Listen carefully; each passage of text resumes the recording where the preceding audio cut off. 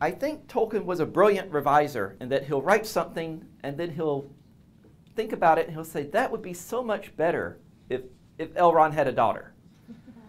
and he'll go back and add a daughter. Whereas most people say, well, next time I'll write a story about someone who has a daughter. He'll work over a piece as many times as it, as long as he keeps getting good ideas that he thinks will improve it, he'll go back and revise it again. He'll go back and revise it again. Um, C.S. Lewis once said it was almost impossible to get Tolkien to publish something because he would say, oh, I just need to go through and make a few changes, which usually meant he was going to start rewriting it over again. If you look at Tolkien's original drafts, they're often not nearly as good as the final book. Farmer Giles of Ham is a great example. Nice, short, simple little story, followed by an expanded version, which is better, followed by a version twice the size, which is really good, followed by another version tinkered just a little, which just right. At that point, he stops, he gets it published. Anecdotally, what was, what was the condition of the manuscripts when I arrived? How did they change? What condition are they in now? When they arrived, they were, Tolkien had promised as part of the deal he would go through all the manuscripts and annotate them, date them, explain how all of them were related to each other. This is why it took two years for Marquette to get the materials after the point when they started it, because he went and he started and oh, he got an idea and he had to work on something else. There's one page that I'm certain that Tolkien actually annotated, because there's a page of manuscript on the top of which Tolkien wrote, only surviving page of the first draft of The Hobbit, which didn't go beyond this first chapter. Uh, what he didn't know is two other pages of it had come to Marquette. And that page he didn't send to Marquette. The page you wrote that on, he kept. Uh, he never got around to sending that. It finally came when Christopher Tolkien hand delivered it in 1987. The oddest thing that I've ever come across is a doodle of a little circle with two eyes and underneath Elrond the Magnificent. um, a lot, Tolkien was writing during World War II when paper was really scarce, and Tolkien wasn't like C.S. Lewis. He didn't think through the whole draft and then just copy it on paper.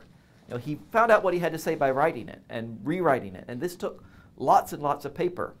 One thing Christopher Tolkien discovered when he was here in 87 we would never have guessed. There's lots of pages that are on the back of blue books. You know, students wrote essays. If there was half a page, Tolkien would tear that page out and he would write on the other half a page. What. Christopher Tolkien discovered, he looked at some of those, they have comments where, you know, Tolkien is saying this person knows nothing about the Battle of Maldon. or, you know, the tense is completely wrong in this translation, etc. Christopher Tolkien looked at them and said, oh, that's not my father's handwriting. That grade, that little comment is by Neville Coghill. That little comment is by C.S. Lewis.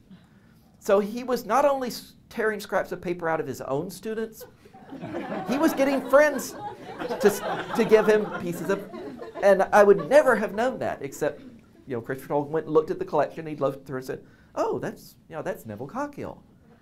I don't think any of us would have noticed those little remarks in the margin as being anything other than the original student or of Tolkien himself. Mm-hmm.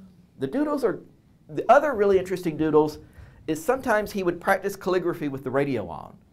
And so there's these little snips, you know, like Dunkirk, and then, you know, lines in Elvish, and he's hearing phrases and writing it in his very, very careful calligraphy.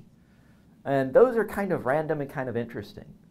And once in a while, he makes this little insulting comment about Joyce or Eliot or someone like that. that it would be a great project just to go through the whole thing and report, just catalog what's on the back. And most of it's like, yes, this student didn't know nothing about Beowulf. But sometimes there's an interesting little comment, an interesting little phrase that would it'd be worth the trouble of digging them all out. I mentioned earlier today about Tolkien sat it down at one point and decided to rewrite The Hobbit in the style of The Lord of the Rings. Um, this is what's called the 1960 Hobbit. None of us knew it existed until Christopher Tolkien came to Marquette in 1987 and decided he would read part of it to us. Um, wonderful reading. Um, what happened is Tolkien writes The Hobbit. It's a standalone book. There is no Lord of the Rings at this point. It's successful. His publishers say, why don't you write a series? You know, like Dr. Dolittle. There's the first book, second, third book. Why don't you do a whole series of books? Tolkien said, well, there's really not much of a sequel to He Lived Happily Ever After to the End of His Days. um, short book. Maybe I can tell a story about another Hobbit.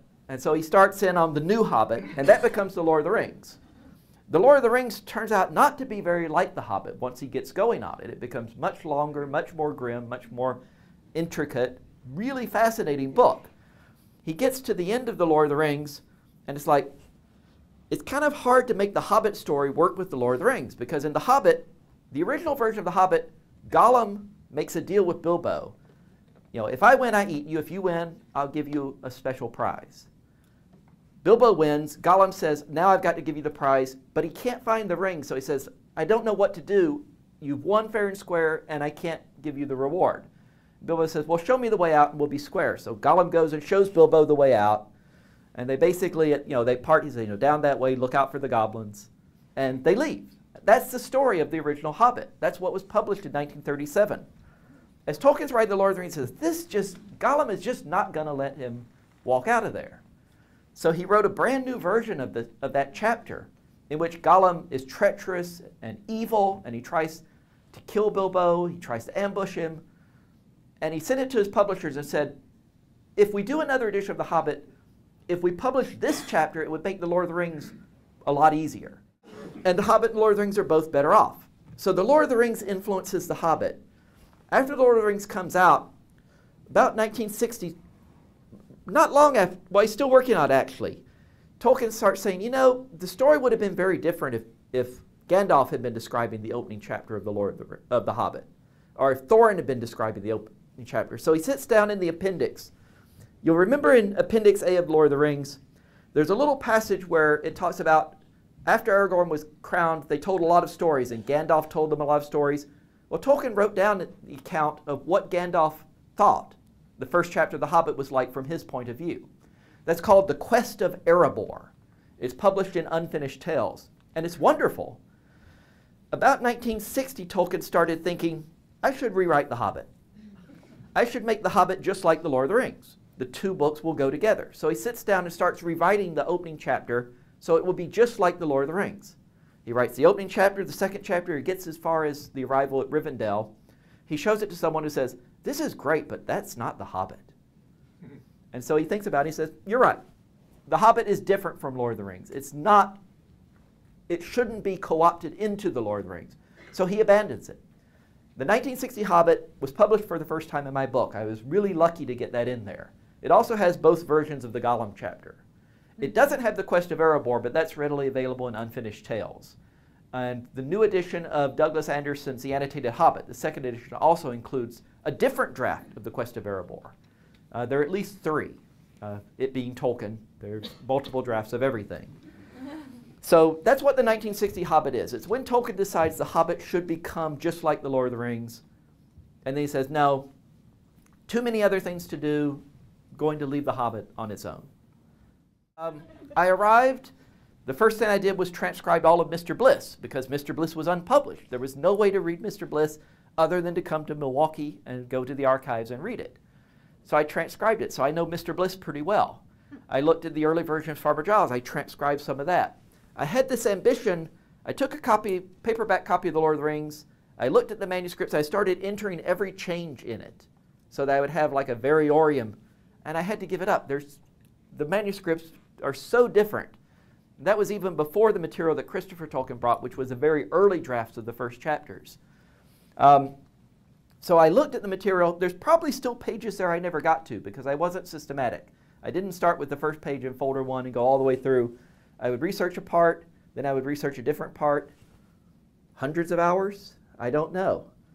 Whenever I could get away from, I was teaching, I was taking courses. I was really busy. TAs are really, really busy, and grad students are really busy. But anytime I had time, I'd go over there and spend an hour, spend two hours. There couldn't have been many weeks that I didn't go and spend a few hours there. Um, and it was wonderful. Thank you so much for coming.